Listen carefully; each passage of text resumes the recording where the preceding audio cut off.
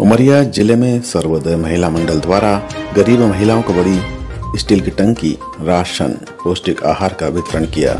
सर्वोदय महिला मंडल अध्यक्षा रीना पांडे ने महिलाओं को जल संरक्षण, पर्यावरण संरक्षण के महत्व के बारे में बताया तथा आत्मनिर्भर बनने के लिए, स्वरोजगार से जुड़ने के लिए प्रेरित किया। अध्यक्ष रीना पांडे व उनकी टीम की महिलाओं ने महिलाओं की समस्या जानी, जिसका शीघ्र निराकरण करने का आश्वासन दिया। उमा मिश्रा ने सभी महिलाओं का फूल मालाओं से स्वागत किया। इस अवसर पर जिला अस्पताल व कालरी डिस्पेंसरी से doctor Richa Gupta, doctor R K Singh के संयुक्त प्रयास से स्वास्थ्य शिविर में महिलाओं का स्वास्थ्य परीक्षण किया गया।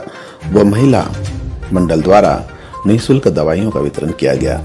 रीना पांडे ने महिलाओं को बीमारी से बचाव हेतु सचेत रहने को कहा तथा नियमित योग व्यायाम करने की हिदायत दी। इस अवसर पर ग्राम अचला की सरपंच प्रभा चतुर्वेदी व रीना पांडे के सामाजिक उत्थान के कार्यों की प्रशंसा करते हुए आभार व्यक्त किया। किया क्या है?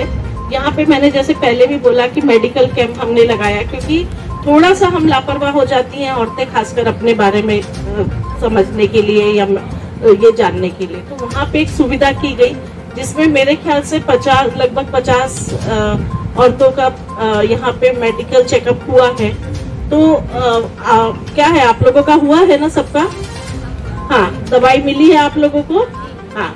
तो यहाँ थोड़ा सा जो हम लोग बेसिक जो रहता है जैसे बीपी चेकअप करना या और हमारा जो तकलीफें रहती हैं कई बार कमर दुखती है बहुत सारी परेशानियाँ होती हैं औरतों को तो उसके बारे में भी थोड़ा सा जाने हैं डॉक्टर्स ने और उसके लिए भी थोड़ी सी आप लोगों को मेडिसिन प्रोवाइड की गई है यहाँ पे आज।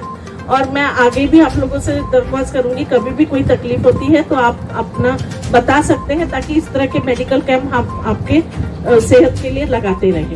दूसरा हम लोग यहाँ पे थोड़ा सा जैसे अभी गर्मी आ रही है और गर्मी के लिए पानी की सुविधा करवाने के लिए हम लोगों ने थोड़ा सा स्टोरेज घर में ज़रूरी होता है कि हम थोड़ा सा पानी संभाल के इस्तेमाल कर सके उसको संभालने के लिए। कुछ बर्तनों की ज़रूरत होती है वो ही आज हम यहाँ पे वितरण कर रहे हैं और उसके साथ कुछ खाद्य पदार्थ दे रहे हैं, ताकि हम थोड़ा सा अपने तरफ़ से आपको थोड़ी सी मदद करना चाह रहे हैं, बस।